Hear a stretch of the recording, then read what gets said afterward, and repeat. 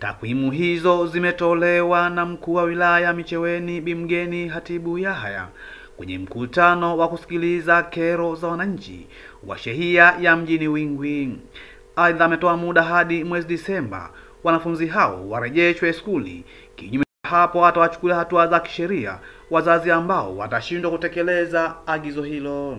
Nitamwajibisha mzee ambaye yeye bado anamzuia mtoto wake asende shule, bado anamzu, anamuhimiza mtoto wake aende akapare samaki ama akabanje kokoto. Yule mzee mimi nitamwajibisha tena, simwangalii mwanamme, simwangalii mwanamke, nyote wawili, hilo mujue. Mbunge wa jimbo la Wingwi Mheshimiwa Omar Isa Kombo pamoja na afisa elimu wilaya hiyo Mwalimu Ismail Ali wamewataka wazazi kushirikiana ili kudhibiti utoro wa wanafunzi. Wazazi wajibu wao ni kuhakikisha kwamba wanawahimiza watoto kufata, kufanya nini, kwenda skuli. Sasa ambapo serikali inatekeleza wajibu wake, lakini mwisho wa siku kuna swala la utoro, itakuwa kwanza hatujawatendea haki watoto wetu, lakini hatujaitendea haki maendeleo, lakini hatujaitendea haki serikali yetu. Huyu kijana wetu hata kama alikimbia miaka mingapi, arudi skuli.